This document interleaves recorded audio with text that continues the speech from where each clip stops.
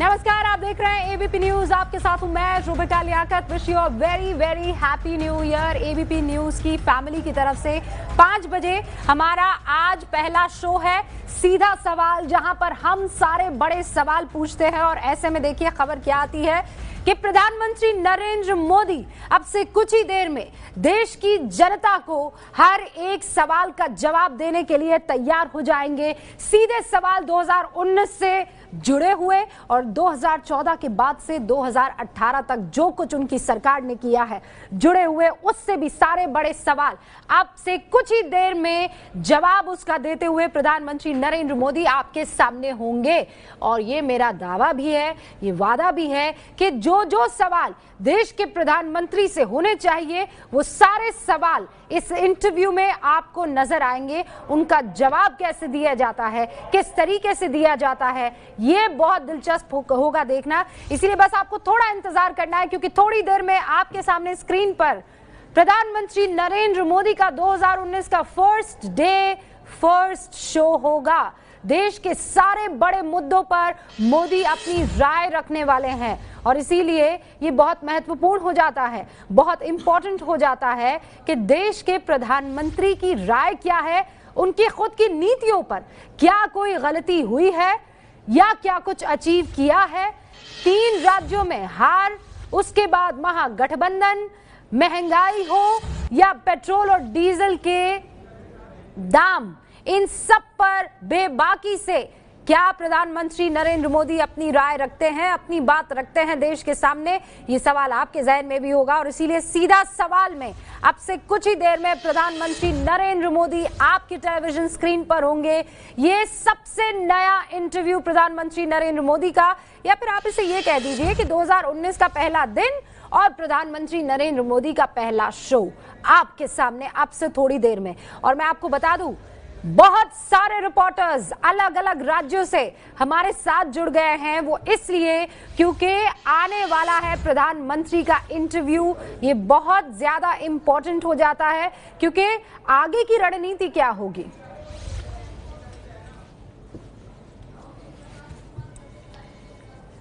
विकास भदौरिया, प्रकाश कुमार और ब्रजेश राजपूत, अभी स्क्रीन पर आपको नज़र आ रहे हैं। मेरे तीनों सहयोगी इस वक्त स्क्रीन पर और अभय दुबे जी, जाने माने वरिष्ठ पत्रकार यहाँ स्टूडियो में मेरे साथ है। सबसे पहले तो विकास, मैं आपके पास आ रही हूँ। हैप्पी न्यू ईयर ये नया साल और नई नई बातें प्रधानमंत्री नरेंद्र मोदी के इस इंटरव्यू में हम एक्सपेक्ट कर सकते हैं।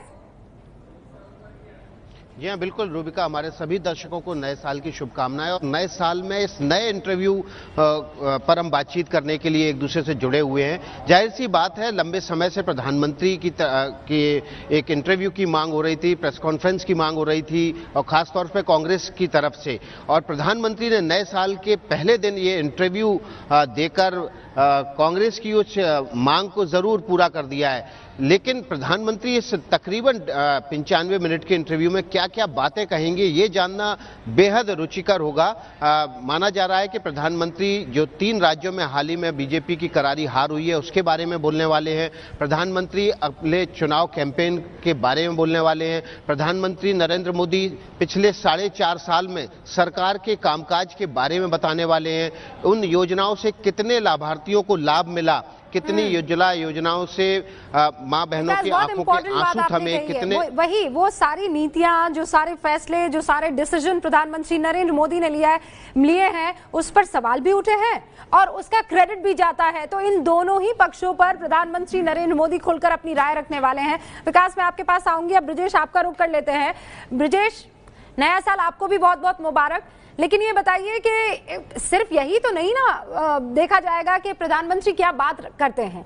विपक्षियों की तरफ़ से वो तमाम लोग जो प्रधानमंत्री नरेंद्र मोदी को बहुत लंबे अरसे से फॉलो कर रहे हैं, उनकी बॉडी लैंग्वेज से लेकर, उनके शब्दों के चयन से लेकर हर चीज़ को नोट करेंगे।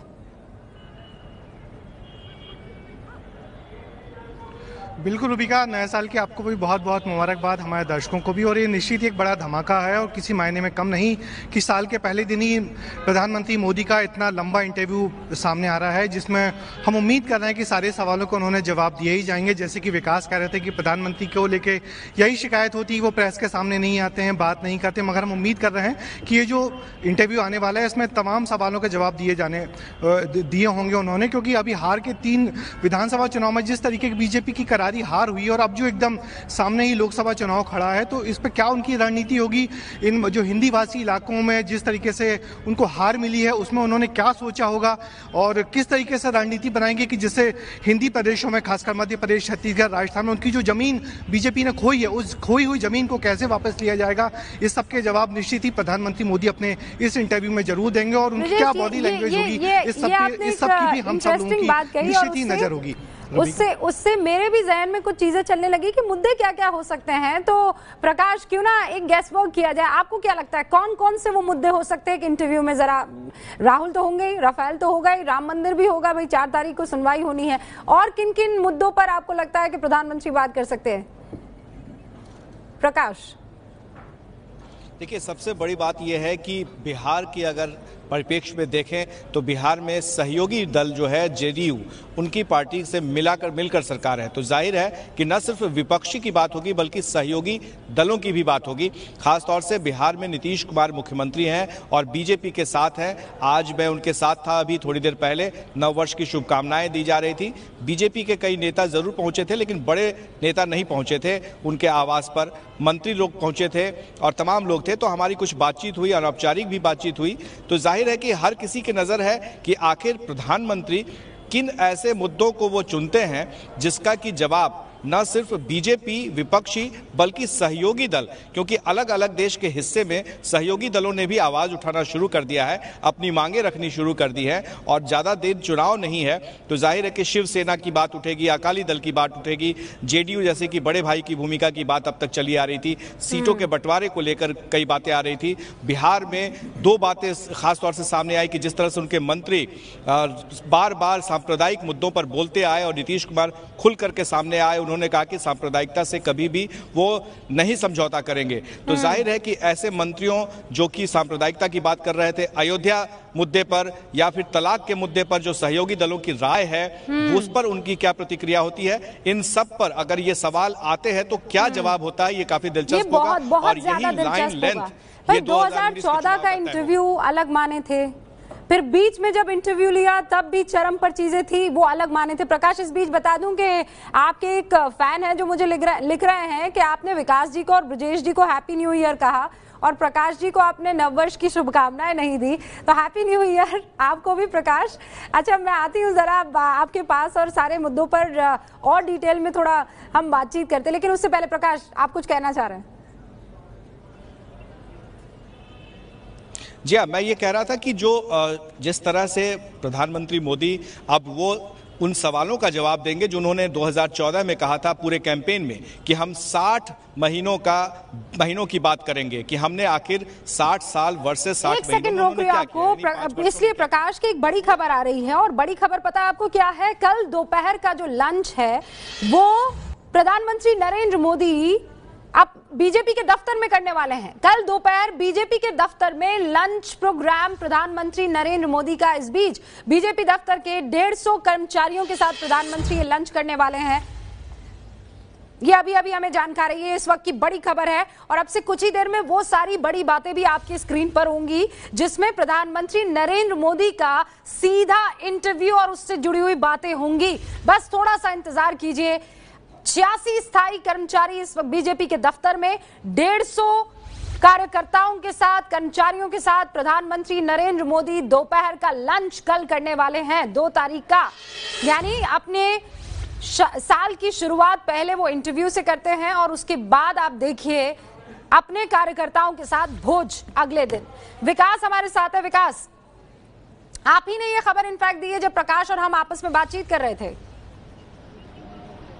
जी हाँ बिल्कुल रूबिका ये इस वक्त मैं बीजेपी दफ्तर के पिछले हिस्से में खड़ा हुआ हूँ और यहीं पर कल दोपहर में प्रधानमंत्री नरेंद्र मोदी तकरीबन डेढ़ बजे के आसपास आएँगे इस बीजेपी दफ्तर में तकरीबन डेढ़ सौ कर्मचारी काम करते हैं जिसमें छोटे से छोटे स्तर पर साफ़ सफ़ाई वाले करने वाले कर्मचारी से लेकर सुरक्षा गार्ड से लेकर और तमाम जो अलग अलग विभाग हैं बीजेपी मुख्यालय में उसमें काम करने वाले तमाम कर्मचारी इसमें से छियासी हम्म। कर्मचारी जो स्थायी हैं और बाकी चौंसठ कर्मचारी अस्थायी उनके साथ दोपहर का भोजन करेंगे उनसे उनके साथ बातचीत करेंगे मुलाकात करेंगे। हम्म। और ये प्रधानमंत्री नरेंद्र मोदी का बीजेपी कार्यालय में कर्मचारियों से मिलने का जो सिलसिला है ये पिछले चार पाँच सालों में लगातार चल रहा है। जब भी वे यहाँ पर किसी बड़ी बैठक के दौरान पार्लियामेंट्री बोर्ड की बैठक या चुनाव समिति की बैठक के दौरान आते हैं तो वे कर्मचारियों से मिलते रहते हैं। लेकिन इस तरह से कर्मचारियों के साथ बैठकर उनकी उनके साथ मुलाकात करना भोजन करना ये प्रधानमंत्री नरेंद्र मोदी का आ, आ, का ये ये जो पहल है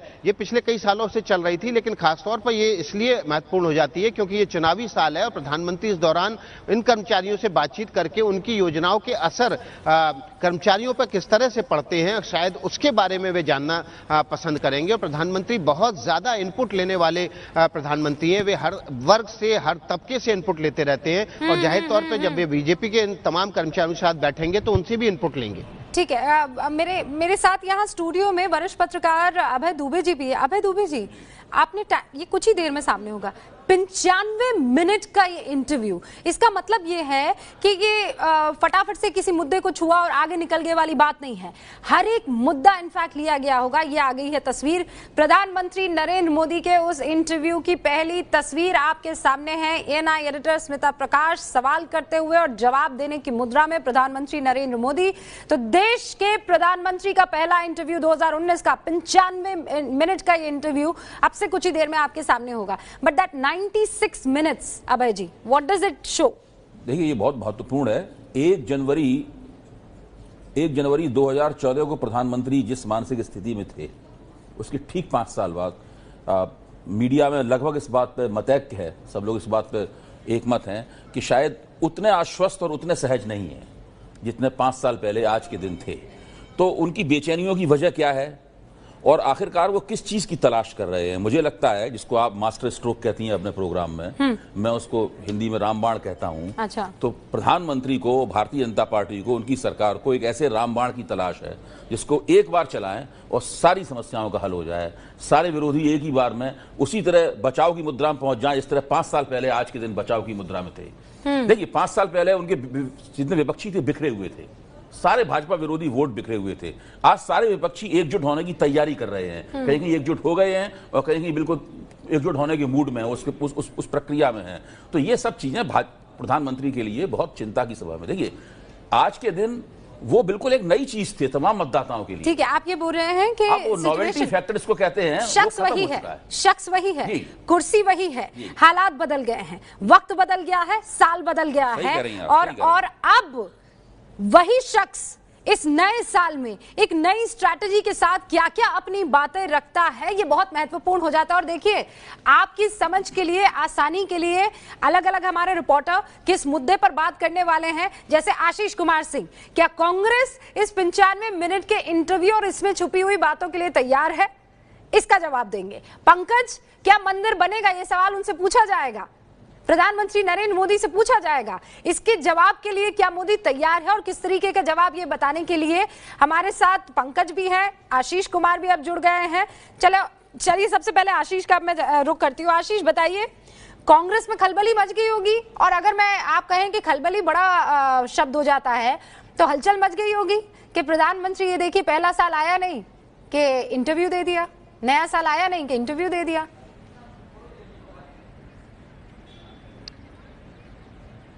देखिए कीन इंटरेस्ट ज़रूर है रूबिका, क्योंकि कांग्रेस पार्टी है प्रिंसिपल ऑपोजिशन के नाते लगातार सवाल उठाते रही। प्रधानमंत्री पर इस बात का आरोप लगाते रही ये पार्टी की प्रधानमंत्री अहम मुद्दों पर बोल नहीं रहे रफेल पर आपने देखा, कई बार राहुल गांधी ने खुद प्रेस कॉन्फ्रेंस की और बार बार कहा कि प्रधानमंत्री चुप्पी तोड़े और यह आरोप लगाया कि प्रधानमंत्री चुप इसलिए हैं, इसलिए कुछ नहीं बोल रहे हैं, क्योंकि उनके पास तर्क नहीं है अपने आप को डिफेंड करने के लिए। इस वजह से बहुत कीनली कांग्रेस इस प्रेस कॉन्फ्रेंस को देखे, माफ़ कीजिएगा, इस इंटरव्यू को देखेगी। साथ में मैं आपको बड़ी बात बता दूँ कि प्रधानमंत्री का ये इंटरव्यू जैसे ही खत्म होगा, कांग्रेस पार्टी उस पर बाकायदा औपचारिक तौर पर रिएक्ट करेगी। कई अहम मुद्दे हैं जिस पर वो सुनना चाहेंगे कि प्रधानमंत्री क्या कहते हैं। चाहे वो रफेल हो, ऑगस्टा वेस्टलैंड पे बड़े बड़े आरोप लग रहे हैं। राम मंदिर का ऐसा मुद्दा संत समाज कहा जा रहा है और हमने खुद भी देखा अयोध्या में जाकर के कि बीजेपी से नाराज़गी है। वो चाहते हैं कि कोई कारगर कदम राम मंदिर की दिशा में उठाया जाए। ये सभी ऐसे मुद्दे हैं जिनको लेकर के बहुत कीनली वॉच किया जा रहा है कांग्रेस पार्टी में, जहाँ पर कांग्रेस मुख्यालय में मैं हूँ। और जैसा मैंने आपको कहा कि इस इंटरव्यू के खत्म होने के बाद औपचारिक तौर पर कांग्रेस पार्टी अपनी प्रतिक्रिया भी देगी। रूबिका? औपचारिक तौर पर प्रतिक्रिया? भाई इसलिए भी पंकज क्योंकि सारे सवाल पूछे जाएँगे उन पर वो अपनी राय रखेंगे अपना स्टेटमेंट करे, जारी करेंगे और फिर आप समझ लीजिए कि लोकसभा चुनावों के लिए मुद्दे जो हैं वो अपने आप निकल आएँगे। पंकज जस्ट ट्वेंटी सेकेंड हाँ अभय जी अपनी बात करें और फिर मैं आपके पास आती हूँ। देखिए प्रधानमंत्री की शिकायत रही है कि वो प्रेस कॉन्फ्रेंस नहीं करते हैं है? मैं इसको भी प्रेस कॉन्फ्रेंस का रिप्लेसमेंट नहीं मानता हूँ। देखिए ये ओपन एंडेड प्रेस कॉन्फ्रेंस नहीं है यहाँ पत्रकार बैठे हुए हैं और वो अपने मन से बिना किसी योजना के बिना किसी पूर्व निर्धारित योजना के सवाल पूछ रहे हैं। इस तरह का एक इंटरव्यू पिछले पिछले इलेक्शन से पहले भी प्रधानमंत्री ने एक चैनल को दिया था। तो उस इंटरव्यू के ऊपर एक इल्ज़ाम लगा था कि इस इंटरव्यू में सवाल पहले से तय हैं। उस, उसके बाद उनके जवाब दिए गए हैं। इस तरह के जो क्लोज्ड इंटरव्यू होते हैं जो जिसमें केवल एक पत्रकार होता है पहले सब चीज़ें तय होती हैं तो ऐसे इंटरव्यू एक तरह से एक व्यापक और बड़ी रणनीति के अंग होते हैं। Okay but can I call it pre conceive notion मतलब हमने तो अभी इंटरव्यू देखा भी नहीं है। हमने तो अभी हम लोग कम से कम हो सकता है कि बहुत मुझे भी और आपको भी है कि एक ओपन हैंडेड प्रेस कॉन्फ्रेंस और इस तरह का इंटरव्यू इन दोनों में हमेशा ही एक फ़र्क होता है। इस तरह के इंटरव्यू एक पार्टी की रणनीति के अंग होते हैं। ये असहज नहीं कर पाते हैं ऐसे सवाल। अभय जी का ये आरोप है लेकिन देखिए आप आरोप नहीं मैं विश्लेषण है मेरा। मेरा अंदाज है मतलब राइट ये ये ये अंदाज़ा है ये अंदाज़ा है अभय जी का। लेकिन आप ये इंटरव्यू देखिए ये तस्वीर आपके सामने अब से कुछ ही देर में ये पंचानवे मिनट का इंटरव्यू आप एबीपी न्यूज़ पर देख सकेंगे थोड़ी देर में। और देखिए आपको क्या लगता है प्रधानमंत्री नरेंद्र मोदी किस अंदाज में होंगे?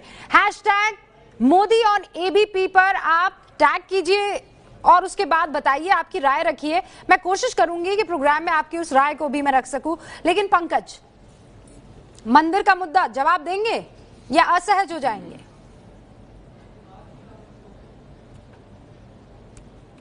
रूप का सबसे बड़ा यही मुद्दा है जिसको कई लोग मानते हैं और संघ और संघ से जुड़े हुए संगठन बीजेपी के सहयोगी संगठन को भी लगता है कि राम मंदिर का मुद्दा एक गेम चेंजर हो सकता है क्योंकि किसानों के लिए कारोबारियों के लिए नौजवानों के लिए राम मंदिर पर अध्यादेश नहीं लाएगी सरकार ये इस वक्त की बड़ी खबर। पंकज देखिए हम राम मंदिर पर बात कर रहे हैं ये बहुत बड़ी खबर है।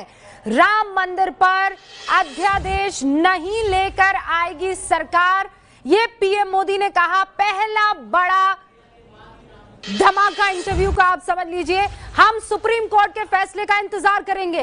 राम मंदिर पर अध्यादेश सरकार नहीं लाने वाली है, क्योंकि बार बार बीजेपी से यही सवाल पूछा जा रहा था। और आप जानते हैं कि उसका जवाब क्या आता था। कोर्ट के फैसले का हम इंतज़ार करेंगे। क्या आप अध्यादेश लाएँगे? तो फिर जवाब आता था कि हम संवैधानिक दायरे में रहते हुए राम मंदिर पर कोई अगला कदम उठाएँगे। लेकिन अब पूरी तरीके से क्लियर हो चुका है। राम मंदिर पर अध्यादेश सरकार नहीं लाएगी और ये किसी और की तरफ़ से नहीं। खुद प्रधानमंत्री नरेंद्र मोदी की तरफ़ से इंटरव्यू में कहा गया है। अभय जी इसके माने क्या है? नो ऑर्डिनेंस इसके नहीं नहीं इसके माने ठीक यह है कि प्रधानमंत्री अपनी सरकार की उपलब्धियों पर चुनाव लड़ना चाहते हैं। अगर वो राम मंदिर के मुद्दे पर अध्यादेश ले आते और वह अध्यादेश अदालती कार्रवाई में या संसद की कार्रवाई में फंस जाता और बीजेपी उस मुद्दे को केंद्र बनाकर चुनाव में उतरती तो ये माना जाता कि प्रधानमंत्री ने पाँच साल में अपनी ये नाकामी मान ली है कि वो ऐसे कोई काम नहीं कर पाए इसके ऊपर चुनाव लड़ने का दम भर सकें हम्म। इस बार उन्होंने तय किया है इस इस इस खबर से बिल्कुल साफ़ लग रहा है कि प्रधानमंत्री अपनी सरकार की उपलब्धियों पर अपनी योजनाओं उनकी डिलीवरी पर और जो बार बार उनके मंत्री कहते हैं हमने एक नया वोट बैंक बनाया है। हाँ। जिन जिन जो हमारे लाभार्थी हैं वो हमारे नए वोट हैं मतलब जो है। ये उनके उनके लिए चुनाव इससे ही लगता है। अबे जी ये ये बहुत अलग किस्म का विश्लेषण है बहुत यूनिक किस्म का है मैं कहूँगी। ऐसा एंगल शायद कोई सोचता नहीं जो आप कह रहे हैं कि नहीं जो काम सरकार ने किया वो इतनी कॉन्फिडेंट है उस काम पर कि अब इस वजह से उसने ऑर्डिनेंस लाने के फैसले को खत्म कर दिया। कानूनी प्रक्रिया के बाद जो है प्रकाश जावड़ेकर समेत कई हम्म। मंत्री बार बार पिछले दो महीने से अखबारों में इंटरव्यू दे रहे हैं कि हमने जो योजनाएँ हैं योजनाएँ लागू की हैं हम्म। उन योजनाओं के जो लाभार्थी हैं वो हमारा नया जन आधार है, है। वो बीजेपी के नए वोटर हैं हाँ। और इतने करोड़ नए वोटर एक और बड़ी खबर सत्तर साल सत्ता के केंद्र में रहे लोगों लोगों ने ही राम मंदिर को लटकाया है ये प्रधानमंत्री नरेंद्र मोदी ने कांग्रेस पर हमला करते हुए जवाब दिया कि 70 साल शासन करने वाली पार्टी कांग्रेस के वकीलों ने कानूनी प्रक्रिया में बाधा डाली। ये बात कही इंटरव्यू में प्रधानमंत्री नरेंद्र ये जवाब जो है रूबिका ये जवाब बचाव का जवाब है। ठीक है। ये बचाव का जवाब इसलिए है हाँ। क्योंकि वो चाहते हैं कि उनकी पार्टी के ऊपर ये इल्ज़ाम न लगे। अभी उमा भारती उनके मंत्रिमंडल में मंत्री है। कल कह रही थी कि बहुत अगर ये योगी और मोदी के जमाने में नहीं हुआ तो कब. बनेगा? पंकज बचाव का जवाब पंकज मैं चाहती हूँ आप इन दोनों बातों का अभी विश्लेषण करें। खबर हमारे पास है विश्लेषण आप कीजिए। क्या मतलब है इसका कि ऑर्डिनेंस नहीं लाएँगे? और सत्तर साल से जो सत्ता में रहा है उसकी वजह से लटका है। देखिए रूबिका रूबिका देखिए प्रधानमंत्री ने कोई बड़ी बात नहीं कही है। अगर आपको याद होगा कि चुनाव के दौरान विधानसभा चुनाव के दौरान बीजेपी अध्यक्ष अमित शाह से भी ये सवाल किया गया था तब भी उन्होंने ये कहा था कि मामला कोर्ट में है और हम अध्यादेश नहीं लाएँगे कोर्ट के फैसले का ही हम इंतज़ार करेंगे। प्रधानमंत्री ने उसी बात को आगे बढ़ा चूँकि प्रधानमंत्री सॉरी पंकज एक और तो बड़ी खबर एक और बड़ी बात मुझे रोकना पड़ेगा आपको और हम आगे बात करेंगे। पाकिस्तान एक लड़ाई से नहीं सुधरने वाला है। इसके लिए बार बार हमें तैयारी करनी होगी। ये फिर बड़ी बात अपने पड़ोसी मुल्क को लेकर प्रधानमंत्री नरेंद्र मोदी ने। इसके माने अभय जी। इसके माने ठीक है। सर्जिकल स्ट्राइक नहीं नहीं। मैं कहता हूँ कि ये बहुत ही प्रधानमंत्री ने जो कहा है मैं उसकी तारीफ़ करूँगा। मैं ये कहूँगा कि वो एक तरह से संदेश दे रहे हैं कि ये लोग जो समझ रहे हैं कि पाकिस्तान से छोटी मोटी झड़प करके या भारत पाकिस्तान तनाव के सहारे हम लोग चुनाव लड़ेंगे, वो साफ़ साफ़ कह रहे हैं कि ये कोई एक लड़ाई का मसला नहीं है। ये कोई भारत पाकिस्तान के संबंध जो है, कोई चुनावी मुद्दा होने नहीं जा रहे हैं। मेरी समझ में इसका मतलब ये है। आशीष, क्या मतलब है इसका?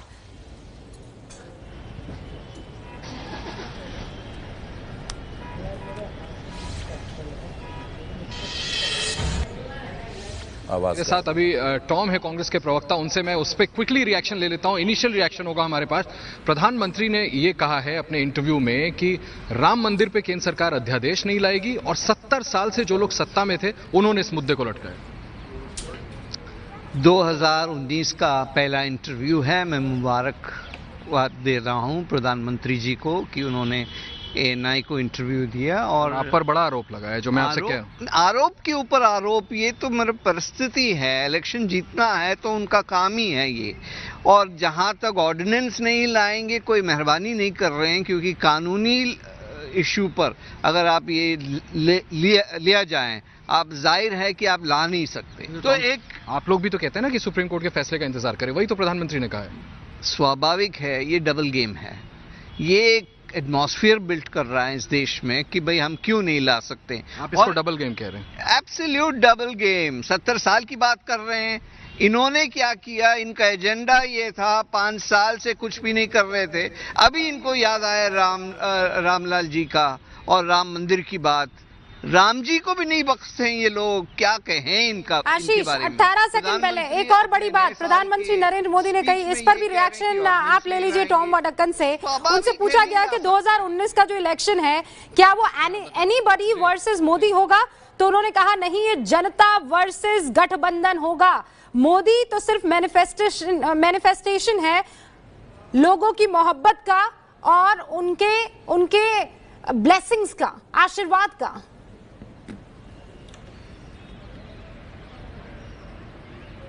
प्रधानमंत्री ने कहा है कि 2019 का जब उनसे सवाल पूछा गया तो उन्होंने कहा 2019 का चुनाव जनता वर्सेस महागठबंधन होगा। नहीं ऐसा कुछ नहीं है। ये होगा मोदी जी वर्सेस देश। अभी उसको वो, वो अगर हेडलाइन हमारा जो स्लोगन है वो उनको पसंद नहीं आया तो उसको ट्विस्ट करने का कोशिश है। उनके कहने का तात्पर्य है कि देश उनके साथ है। आप कह रहे हैं कि देश बनाम नरेंद्र मोदी। बिल्कुल। देशवासी ये चाहते हैं कि ये बार इस बार मोदी वर्सेस द रेस्ट, ये सच्चाई है, और वो मोदी जी भी जानते हैं, और इसलिए वो रीएम्फोसाइज कर रहे हैं कि भाई ये मेरे खिलाफ नहीं है, ये जनता, जनार्दन तैयार कर, जनता, जनार्दन तैयार कर चुके हैं, ये युद्ध, महायुद्ध किसके साथ है? मोदी जी वर्सेस रेस्ट ये सच्चाई है। चलिए टॉम साहब रूबिका आप देख रही हैं कि पलटवार किया जा रहा है कांग्रेस पार्टी की तरफ़ से। हमारे पास इनिशियल रिएक्शन है कांग्रेस पार्टी के अधिकृत प्रवक्ता की तरफ़ से और उनका ये कहना है कि अगला जो चुनाव होगा वो टू द कॉन्ट्ररी मोदी बनाम जनता होगा। यानी कांग्रेस पार्टी का ये क्लेम है कि जनता का समर्थन कांग्रेस पार्टी के साथ रहने वाला है। अच्छा सत्तर साल का जो आरोप है या सत्तर साल जो पार्टी काबिज रही सत्ता में उसने राम मंदिर को लटकाया लेकिन ये कह देना कि ऑर्डिनेंस नहीं लाएँगे अध्यादेश नहीं लाएँगे इस पर टॉम वडक्कन का क्या रिएक्शन है?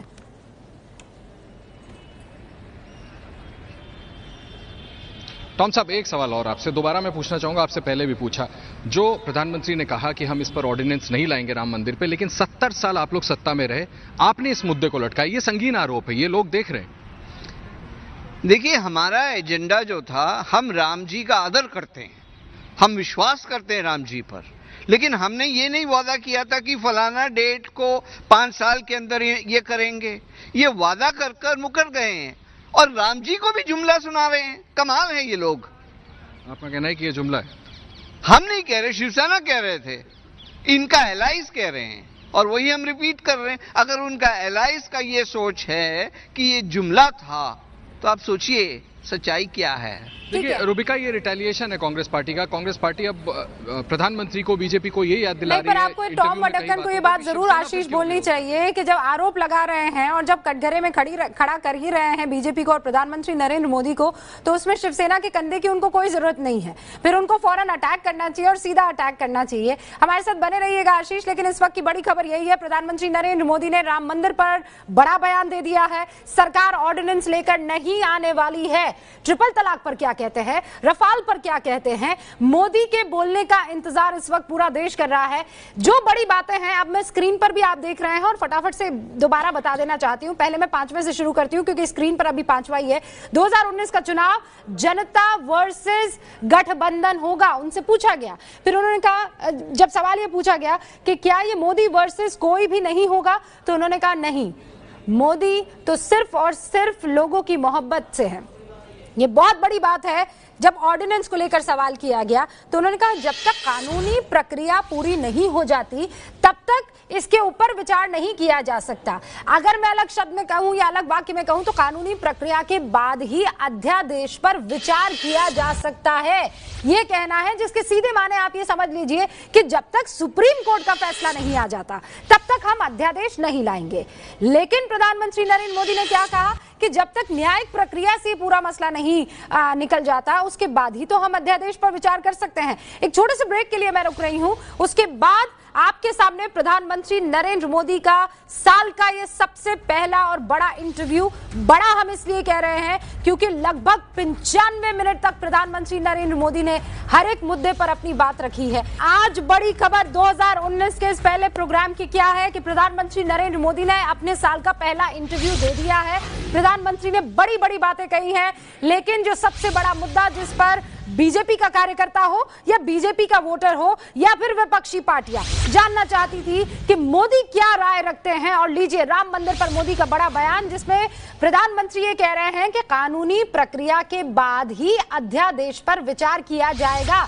मोटा मोटी इस बात को समझने की कोशिश कीजिए। तो प्रधानमंत्री जो कह रहे हैं, और सारे प्रोसीजर्स चाहे वो कानूनी हो, चाहे वो पार्लियामेंट्री हो, अगर आप लाइन में लगा दें तो फिर तो 2019 के चुनावों के बाद ही ये, या फिर अगली सरकार में ही इस पर फैसला हो सकता है। राजकिशोर जी? देखिए, रूबिका, ये बिल्कुल स्पष्ट है कि जिस समय संघ परिवार व जो संघ के अनुसांगिक संगठन है बीएचपी या बीजेपी के लोग लगातार राम मंदिर पर दबाव बना रहे थे उस समय भी सरकार की तरफ़ से बहुत स्पष्ट कहा गया था कि इसमें वो बहुत तेज आगे नहीं जाएँगे कानूनी प्रक्रिया के बाद ही सब कुछ होगा। अब जब प्रधानमंत्री बिल्कुल खुलकर सामने आ गए हैं तो ये स्पष्ट है कि वो ऐसा कोई संदेश नहीं देना चाहते हैं कि वो अपने ही अनुषांगिक संगठनों के दबाव में आकर इस तरीके कोई फैसला ले रहे हैं कि जो प्रधानमंत्री पद और जो सबका साथ सबका विकास का जो उन्होंने नारा दिया था चुनाव से पहले उस पर सीधे कोई उन पर सवाल उठा सके। लेकिन लेकिन इसके साथ में ही ये नहीं मान लेना चाहिए कि राम मंदिर का मुद्दा बीजेपी छोड़ देगी या नरेंद्र मोदी इससे पीछे हटने वाले हैं। लगातार कोर्ट से ये बात कही जाएगी। इससे पहले राजकिशोर जी ये कह रहे थे कि मास्टर स्ट्रोक खेला है प्रधानमंत्री नरेंद्र मोदी ने क्योंकि वो जो है राम मंदिर के मुद्दे पर नहीं इनफैक्ट जो काम उन्होंने किया है उस मुद्दे पर जनता के बीच में जाना चाहते हैं। लेकिन मास्टर स्ट्रोक तो ये अभय जी। जी सहमत होते हुए मैं ये कहना चाहता हूँ कि ये तो प्रधानमंत्री ने कह ही दिया है कि हम दरअसल ये कह के अध्यादेश नहीं लाएँगे कि हम, हमने जो पाँच साल के लिए, पाँच साल काम किया है, उसकी डिलीवरी, जो उसके लाभार्थी हैं, उनको अपना हम नया वोटर मान रहे हैं, हम चाहते हैं कि वो हमें वोट करें। लेकिन साथ में राजकिशोर जी, इस बात से मैं सहमत हूँ, इसका मतलब ये नहीं है कि वो हिंदू मुसलमान नहीं होगा, राम मंदिर वाला सवाल नहीं होगा। वो लगातार तीन तलाक का मुद्दा है। वो लगातार ये दिखाने की कोशिश कर रहे हैं कि विपक्ष पूरा का पूरा मुसलमानों के साथ है।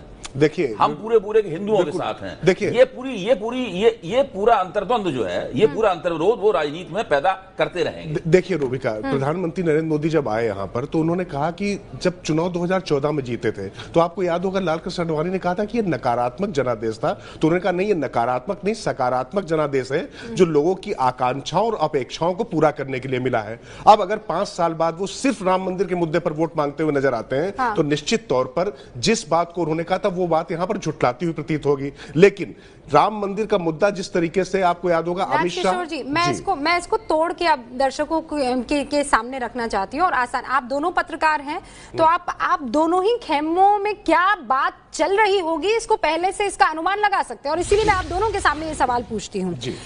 विपक्षी इस स्टेटमेंट को कैसे ले सकते हैं? मतलब ऑर्डिनेंस नहीं लाना, आप कह रहे हैं कि वो ये प्रूव करना चाह रहे थे या वो ये बताना चाह रहे थे कि देखिए, ये मेरे जो बाकी संगठन है, मैं उनके दबाव में नहीं आया हूँ। मैं कानूनी प्रक्रिया के थ्रू जाना चाहता हूँ। और दूसरी तरफ़ से एक वो जो खेमा है विपक्ष का, वो ये कह सकता है या ये सोचता है, सकता है कि आपने तो धोखा दिया, आपने तो वादा किया था, हर कीमत पर नंबर्स आएँगे। तो हम मंदिर बनाएँगे। तो देखिए रूबिका सबसे बड़ी बात है कि विपक्ष क्या बार बार ये कहेगा आके प्रधानमंत्री से कि अध्यादेश लाए? गांधी परिवार पर बहुत बड़ा हमला। प्रधानमंत्री नरेंद्र मोदी बड़ा हमला करते हैं गांधी परिवार पर और कहते हैं कि जिन्होंने देश को लूटा वो बेल पर बाहर है। जिसने देश पर राज किया वो जमानत पर बाहर है। आशीष कुमार सिंह का रुख करते हैं वो कांग्रेस दफ्तर में ही मौजूद है। गांधी परिवार पर बड़ा अटैक है आशीष कह रहे हैं मोदी कि जिसने देश पर राज किया वो आज जमानत पर बाहर है।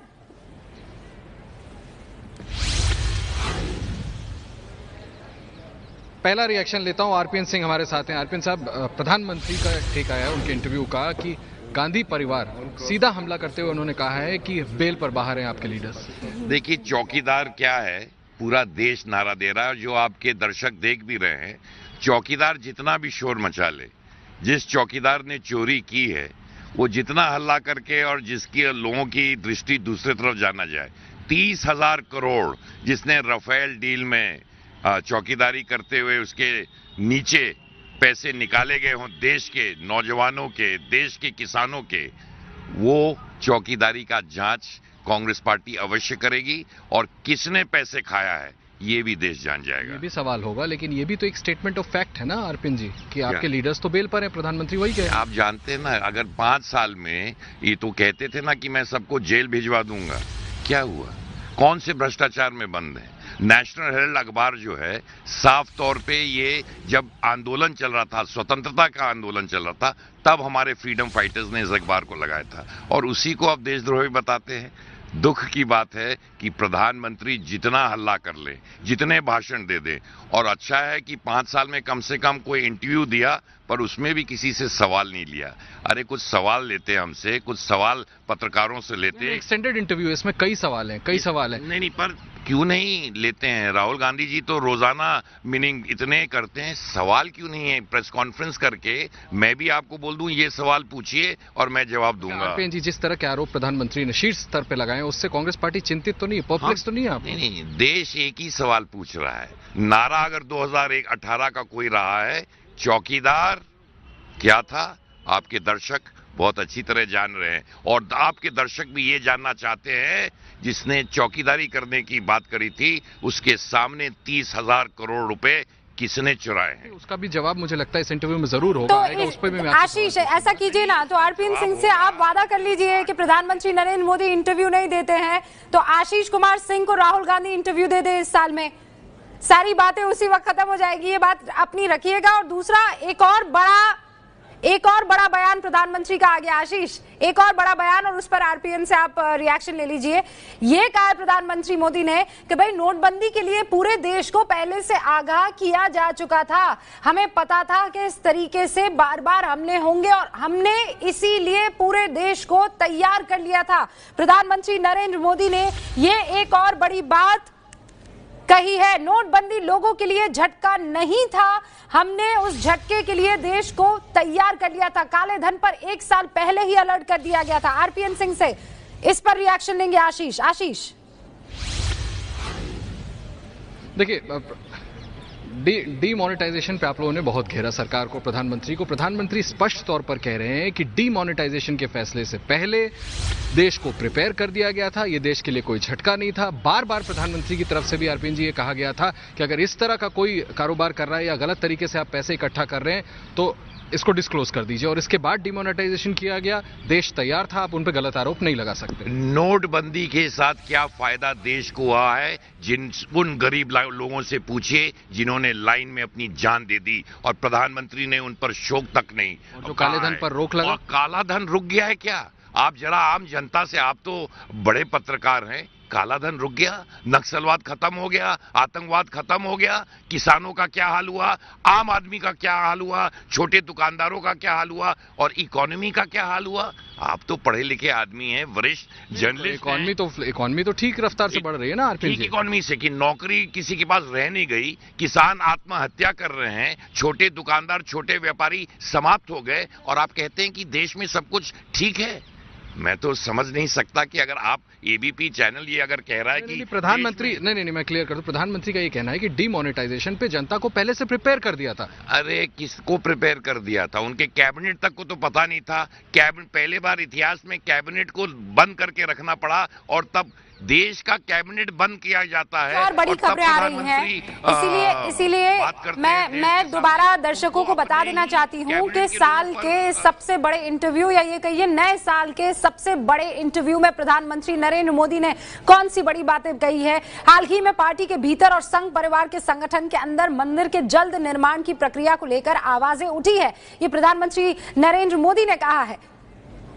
और उसके बाद जब उनसे कहा गया तो फिर अध्यादेश को लेकर आप पर, आपका क्या विचार है? उन्होंने कहा, जब तक कानूनी प्रक्रिया पूरी नहीं हो जाती, तब तक अध्यादेश पर कैसे विचार किया जा सकता है? राम मंदिर को लेकर जब तक कानूनी प्रक्रिया चल रही है, तब तक अध्यादेश लाने पर विचार नहीं हो सकता है। आप समझ जाइए, अगर इसको मैं बहुत बेसिक रूप में आपको समझाने की कोशिश करूँ, और मेरे दो वरिष्ठ सहयोगी यहाँ पर बैठे हुए पत्रकार यहाँ पर बैठे हुए हैं, वो ये बात आराम से आपको समझा देंगे कि इसके माने सीधे सीधे ये अच्छा कानूनी प्रक्रिया इसलिए इसलिए धीमी है, क्योंकि वहाँ कांग्रेस के वकील हैं, जो सुप्रीम कोर्ट की सुनवाई में रुकावट पैदा कर रहे हैं। आप समझ रहे हैं किसका ज़िक्र यहाँ पर हो रहा है। हमने पार्टी के घोषणा पत्र में कह रखा है कि राम मंदिर का फैसला संविधान के दायरे में ही होगा।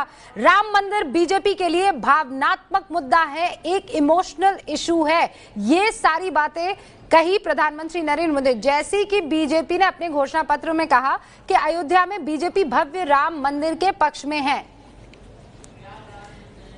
प्रयागराज चलते हैं। वहाँ पर संतों का जमावड़ा है। मेरे सहयोगी रणवीर के साथ जरा संत इस पर क्या सोचते हैं? अध्यादेश अब नहीं आएगा। रणवीर, बताइए। जी रूबिका, आपको बताऊँ कि मैं प्रयागराज में मौजूद हूँ। कुंभ को लेकर लगातार यहाँ संतों का आना जाना लगा हुआ है। चाहे नरेंद्र गिरी जी महाराज हो, अवधेशानंद जी महाराज हो या रविंद्रपुरी जी महाराज, कई लोगों से मेरी बातें हुई हैं। सबका ये कहना है कि सारा संत समाज चाहता है कि राम मंदिर का निर्माण जल्द से जल्द हो और सब संत ये कहते हैं कि जब कसाब को लेकर रात को सुप्रीम कोर्ट खुल सकती है तो राम मंदिर पर जल्द से जल्द सुनवाई नहीं हो सकती है क्या? तो ऐसे में लगातार संतों की मांग है। उनका कहना यह है कि लोकसभा चुनाव नज़दीक है ऐसे में सरकार को सुप्रीम कोर्ट का मुँह ना देखकर मैं आपसे अगर ये पूछूँ कि आपने किसी संत को इस मसले पर फ़ोन लगाया है? क्या उनका रिएक्शन था? उनका पहला रिएक्शन क्या था? क्योंकि वो ये कह रहे थे कि जब कोर्ट खुल सकता है सुप्रीम कोर्ट रात को खुल सकता है किसी आतंकवादी के लिए खुल सकता है और फिर प्रधानमंत्री नरेंद्र मोदी पर भी आरोप लग रहे थे आरोप लगाए संत द्वारा जा रहे थे कि भाई आपने तो वादा किया था ना आप नहीं तो फिर कौन बनाएगा ऐसे में अध्यादेश नहीं आएगा को संत समाज कैसे ले रहा है? जी देखिए फ़िलहाल तुरंत अभी प्रतिक्रिया आई है। ऐसे में किसी बड़े संत से भी फ़िलहाल संपर्क नहीं हो पाया है लेकिन इस मामले में अभी हमने कई लोगों से जब इससे पहले बात की और संतों से पूछा कि आप लोग की प्रतिक्रिया क्या है अगर सरकार अध्यादेश नहीं लाती है या कोई कानून लेकर नहीं आती है तो सबका ये कहना है कि आखिर जब केंद्र में बीजेपी के पास बहुमत है यूपी में बीजेपी के पास बहुमत है तो आखिर सरकार को दिक्कत क्या है? रणवीर कोशिश कीजिए जल्द से जल्द संत समाज का रिएक्शन एबीपी न्यूज़ के दर्शकों को मिले। एक छोटे से ब्रेक लिए हम रुक रहे हैं लेकिन देखिए बहुत एक्शन पैक्ड ये इंटरव्यू है। सारी बड़ी बातों पर प्रधानमंत्री नरेंद्र मोदी की राय, उनकी बातें, और फिर आप जानते हैं कि मुद्दे शुरू हो जाएँगे लोकसभा चुनावों की 2019 के। कुछ 10 मिनट का और इंतज़ार, और उसके बाद प्रधानमंत्री नरेंद्र मोदी एबीपी न्यूज़ पर सारे सवालों का जवाब देते हुए आपको नज़र आएँगे। बस पंचानवे मिनट और उसमें आप समझ लीजिए, देश में अगले चुनावों का हर वो मुद्दा जिस पर विपक्ष अपनी राय रखेगा और प्रधानमंत्री अपनी बात कह चुके होंगे। अभी मंदिर पर उन्होंने अपनी बात कह दी। गांधी परिवार पर बड़ा आरोप उन्होंने लगा दिया। उनसे अध्यादेश के बारे में राम मंदिर को लेकर कहा गया। उन्होंने कहा, जब तक कानूनी प्रक्रिया पूरी नहीं हो जाती, अध्यादेश के बारे में नहीं सोचा जा सकता है। वो सारी बड़ी बातें जो इस वक्त प्रधानमंत्री मोदी ने कही है, मैं आपको बता देना चाहती हूँ, सिलसिलेवार तरीके से पाकिस्तान के बारे में भी अपनी राय रखी। उन्होंने कहा, एक लड़ाई से पाकिस्तान नहीं सुधरने वाला है। ये देखिए एक एक करके मैं आपको बताती हूँ कौन सी वो बातें कही है। मंदिर पर कानूनी प्रक्रिया के बाद ही अध्यादेश पर विचार किया जाएगा। प्रधानमंत्री नरेंद्र मोदी ने राम मंदिर को लेकर अपना बड़ा बयान दिया। 2019 का चुनाव, जनता बनाम गठबंधन होगा। मोदी तो सिर्फ़ मोहब्बत और आशीर्वाद की वजह से वो नाम दे दिया जा चुका है मेरा। वरना ये जनता वर्सेस गठबंधन होगा। चौथी बड़ी बात, नोटबंदी लोगों के लिए झटका नहीं थी। काले धन पर अलर्ट किया गया था और साल भर पहले ही अलर्ट किया जा चुका था। पांचवी बड़ी बात, प्रधानमंत्री नरेंद्र मोदी ने अपने इंटरव्यू में कही कि चार पार्टियाँ, चार पीढ़ियों तक राज करने वाले आज जमानत पर है। उन्होंने बात गांधी परिवार की की और वो भी फाइनेंशियल इरेगुलरिटीज का ज़िक्र प्रधानमंत्री नरेंद्र मोदी ने कहा, यानी कि पैसों के लेन देन में अनियमितता का ज़िक्र उन्होंने किया। राम मंदिर को लेकर जब तक कानूनी प्रक्रिया पूरी नहीं हो जाती या चल रही है, तब तक अध्यादेश लाने का विचार नहीं किया जाएगा। सरकार की तरफ़ से यह बड़ी बात उन्होंने कही। उन्होंने कहा, कानूनी प्रक्रिया इसलिए धीमी है क्योंकि वहाँ पर कांग्रेस के वकील हैं। जो सुप्रीम कोर्ट की सुनवाई में रुकावट और खलल पैदा कर रहे हैं। कांग्रेस पर यह दूसरा बड़ा आरोप। हमने पार्टी के घोषणा पत्र में कह रखा है कि राम मंदिर का फैसला संवैधानिक दायरे में ही होगा। राम मंदिर बीजेपी के लिए भावनात्मक मुद्दा है, इमोशनल इशू है। ये प्रधानमंत्री ने कहा कि जैसे कि बीजेपी अपने घोषणा पत्र में मैनिफेस्टो में कह चुकी है कि अयोध्या में बीजेपी राम का भव्य मंदिर बनाएगी।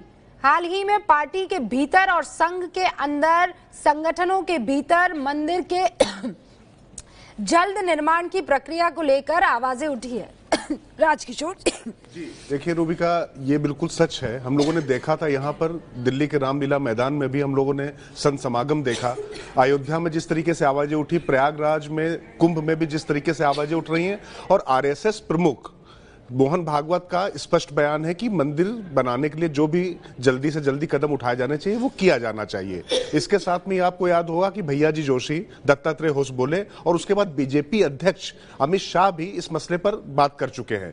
तो ज़ाहिर है कि संघ परिवार के भीतर से जिस तरीके से दबाव बन रहा है राम मंदिर को लेकर, कि उनको लगता है कि स्पष्ट बहुमत के बाद, उत्तर प्रदेश में इतनी बड़ी सफलता के बाद भी अगर राम मंदिर, रामलला टाट में रह जाते हैं तो उसके बाद इनका भी टेंट उखड़ सकता है। तो निश्चित तौर पर ये उनका राजनीतिक कंसर्न हो चाहे आस्था हो। इन दोनों में क्या है ये वही लोग जाने। लेकिन प्रधानमंत्री नरेंद्र मोदी जब जिस कुर्सी पर बैठे हुए हैं वहाँ पर उनको संविधान का पालन करना होगा ये बात वो समझते हैं। और जैसी बात अभी अभय जी भी कह रहे थे और जो बात अभी इससे पहले हम लोग भी चर्चा कर रहे थे कि साढ़े चार साल या पाँच सालों में उन्होंने जो भी काम किए हैं क्या सिर्फ़ एक मुद्दे पर उसको क्या वो न्यौछावर कर सकते हैं? हाँ राम मंदिर के मुद्दे पर निश्चित तौर पर इस इंटरव्यू से स्पष्ट हो गया है हाँ। कि कांग्रेस को वो छोड़ने वाले नहीं कपिल सिब्बल का ये कहना कि 2019 से पहले। से निरंजनी अखाड़े के अ, संत हमारे साथ जुड़ गए हैं।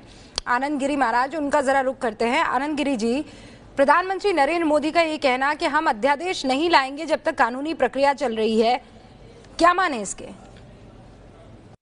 राजकिशोर जी तो क्या आपकी इस पूरी बात का इससे मैं सहमत हूँ आपके विश्लेषण जी जी। क्या इसका मतलब ये निकाला जा सकता है कि नरेंद्र मोदी ने संघ परिवार के दबाव में आने से इनकार कर दिया है?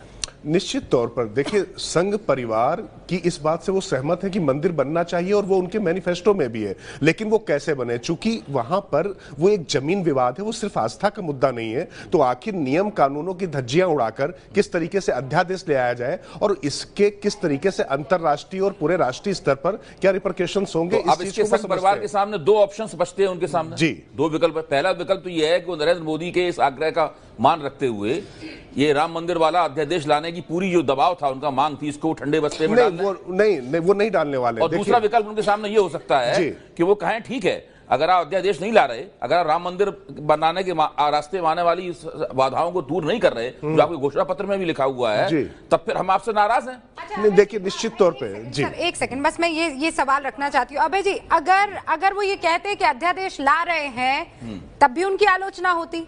और अब वो कह रहे हैं कि कानूनी प्रक्रिया का ध्यान रखते हुए जो कुछ भी सुप्रीम कोर्ट में हो रहा है हम जरा इंतज़ार करते हैं तब भी आलोचना हो रही है। विपक्ष की तरफ़ से होती कांग्रेस की तरफ़ से होती और उन लोगों की तरफ़ से होती जो जानकारी देना चाहिए हाँ। उनकी तरफ़ से होती। लेकिन अभी अगर वो अध्यादेश लाते वो अध्यादेश कानूनी पचड़ों में फंस जाता वो संसदीय पचड़ों में फंस जाता उसके बाद भाजपा के पास मौका होता कि वो इस मुद्दे को केंद्र में रखकर उसके आसपास चुनावी गोलबंदी करती। मैं, मैं इस पे एक रूबिका एक इस पे जानकारी भी देना चाहता हूँ। अभय जी आपने भी जो सवाल किया था देखिए हुआ क्या था आपको याद होगा कि बाकायदा संघ प्रमुख राष्ट्रीय स्वयंसेवक के सरसंघ चालक जो मोहन भागवत है वो बाकायदा इस मुद्दे पर प्रेस वार्ता के लिए आने वाले थे। उससे पहले बीजेपी अध्यक्ष अमित शाह की उनसे मुलाकात होती है। उसके बाद भैया जी जोशी आते हैं वहाँ प्रेस वार्ता के लिए। क्योंकि संघ प्रमुख की तरफ़ से कुछ भी कहने के बाद तीर कमान से निकल चुका उसके बाद कुछ बचता नहीं। निश्चित तौर पर उन्होंने अपनी ये विवशताएँ भी बताई और इसकी व्यवहारिक दिक्कतें भी बताई और अपनी प्रतिबद्धता को भी उनसे समझाया कि इसको करना है। तो अब चार तारीख को सुप्रीम कोर्ट में सुनवाई है। मैं एक सेकंड आपको रोक रही तो लगातार खांसी लेकिन उस बीच आपको ये दर्शकों को बताना ज़रूरी है कि कुछ पाँच छह मिनट बाकी है और उसके बाद नए साल का ये सबसे बड़ा इंटरव्यू प्रधानमंत्री नरेंद्र मोदी का आपके सामने होगा। लेकिन जो बड़ी बातें गई हैं हमने जवानों को संदेश दिया था कि सूरज निकलने से पहले अपनी धरती पर वापस आना। मिशन सफल हो या विफल सूरज उगने से पहले आना। ये प्रधानमंत्री नरेंद्र मोदी सर्जिकल स्ट्राइक पर अपनी बात कह रहे हैं। उन्होंने कहा कि सूरज उगने से पहले आना सबसे बड़ा सुकून देने वाला था। प्रधानमंत्री नरेंद्र मोदी सर्जिकल स्ट्राइक पर यह बात कह रहे हैं। हमले की तारीख को दो बार बदला गया। जवानों की सुरक्षा को ध्यान में रखते हुआ रखते हुए हमले की तारीख को बदला गया। सर्जिकल स्ट्राइक पर हर कोई ये पूछ रहा था और सोच भी रहा था कि क्या प्रधानमंत्री नरेंद्र मोदी इस पर अपनी बात रखेंगे, क्योंकि मत भूलिए प्रधानमंत्री ने हर बार सर्जिकल स्ट्राइक को एक बैज ऑफ़ ऑनर की तरह अपनी सरकार के लिए हमेशा इस्तेमाल किया है। उरी आतंकी हमले में जिस तरह से जवानों को ज़िंदा जलाया गया, मेरे और जवानों के अंदर भी गुस्सा था और इसीलिए सर्जिकल स्ट्राइक की गई। आप देखिए, प्रधानमंत्री नरेंद्र मोदी का इन सारी बातों को कहना ये बताता है कि एक बार फिर से सर्जिकल स्ट्राइक बड़ी मैंने कहा था कि दुश्मनों को पकड़ने के चक्कर में ऑपरेशन ज़रूरत से ज़्यादा लंबा नहीं करना। सूरज उगने से पहले ज़मीन पर वापस आ जाना, धरती पर वापस आ जाना सर्जिकल स्ट्राइक में शामिल हमारा कोई जवान शहीद नहीं हुआ। ये सारी बातें प्रधानमंत्री नरेंद्र मोदी सर्जिकल स्ट्राइक के सवाल पर कहते हैं। सर्जिकल स्ट्राइक में शामिल हमारा कोई भी जवान शहीद नहीं हुआ। इन खतरनाक ऑपरेशन पर रात भर नज़र थी मेरी। लाइव जानकारी मैं ले रहा था। ये वो बातें हैं जो अब तक प्रधानमंत्री नरेंद्र मोदी ने कभी नहीं की। इससे पहले जो इंटरव्यू हुआ था और विदेश में हुआ था। आप याद कीजिए, तब भी सर्जिकल स्ट्राइक पर उन्होंने दो तीन सेंटेंसेस कहे थे, लेकिन यहाँ पर पूरा डिटेल में बताया। मुझे पता था कि बहुत बड़ा खतरा है। मैंने कभी भी किसी राजनीतिक खतरे के बारे में चिंता नहीं की। मेरी सबसे बड़ी चिंता जवानों की रक्षा और सुरक्षा थी। ये सर्जिकल स्ट्राइक पर प्रधानमंत्री कह रहे हैं। मैं नहीं चाहता था कि जो जवान सर्जिकल स्ट्राइक के लिए जा रहे हैं, उनको कोई नुकसान हो। और इसीलिए मैं बार बार लाइव जानकारी ले रहा था। हर वक्त नज़र बनाए हुआ था। सर्जिकल स्ट्राइक के लिए जवानों को बहुत ही ध्यान से चुना गया था। उन्हें खास ट्रेनिंग दी गई थी। जो भी हथियार थे, वो मुहैया कराए गए उनको। यानी एक बहुत लेंदी प्रोसेस मेंटेन किया गया था। जब जवान ऑपरेशन के लिए गए तो मैं पूरे समय रेस्टलेस था, बेचैन था। मेरे लिए वो पल मुश्किल हो गया था, जब घंटे भर के लिए जानकारी हमें मिलना बंद हो गई थी। ये प्रधानमंत्री कह रहे हैं वो बता रहे हैं कि सर्जिकल स्ट्राइक को वो लाइव ऑपरे लाइव जो है, उसकी जानकारी अपने पास रख रहे थे। सूरज उगने के घंटे भर बाद भी वो वक्त मेरे लिए मुश्किल भरा था। उसके बाद ये खबर आई कि जवान अभी नहीं आए हैं। ये सारी बातें प्रधानमंत्री नरेंद्र मोदी बता रहे थे।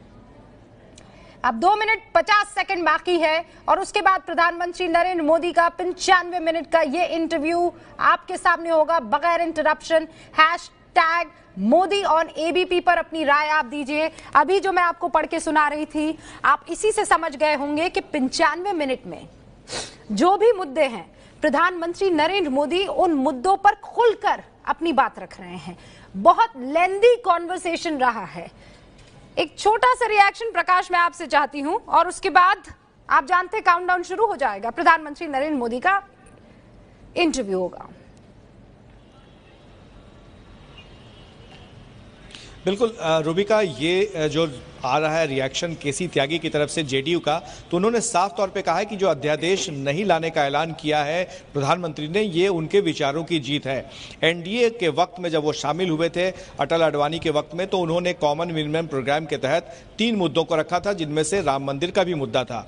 और ये बराबर कह रहे थे कि राम मंदिर मुद्दा पर या तो दोनों पक्ष के आपसी सहमति से, या फिर कोर्ट के आदेश से ही बने, या जो कुछ भी फैसला है उस पर ही आधारित हो। तो ज़ाहिर है कि जो सहयोगी दल है, उसे इस रूप में देख रहा है कि उनकी जीत है और दूसरी तरफ़ जो कांग्रेस पार्टी है, वो इस पर सीधे तौर पर तो नहीं, लेकिन कहीं ना कहीं इशारों में ये बात कह रही है कि इस पूरे मसले पर प्रधानमंत्री जो अब तक मुद्दा बनाते आ रहे थे, वो उससे पीछे हट रहे हैं।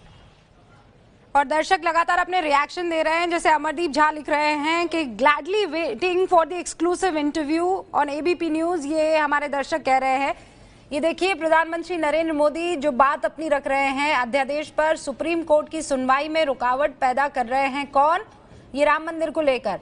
कांग्रेस के वकील, हमने पार्टी के मैनिफेस्टो में कह रखा है कि राम मंदिर का फैसला संविधान के दायरे में ही होगा। राम मंदिर बीजेपी के लिए एक इमोशनल इशू है। जैसा कि बीजेपी ने अपने मैनिफेस्टो में कहा है और अब से कुछ ही देर में आपके सामने देश के प्रधानमंत्री नरेंद्र मोदी का 2019 का फ़र्स्ट डे फ़र्स्ट शो होगा।